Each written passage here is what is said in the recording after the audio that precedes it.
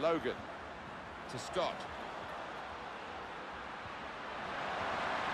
Got the ball away from the opposition, got to keep it now. And the keeper can collect this one.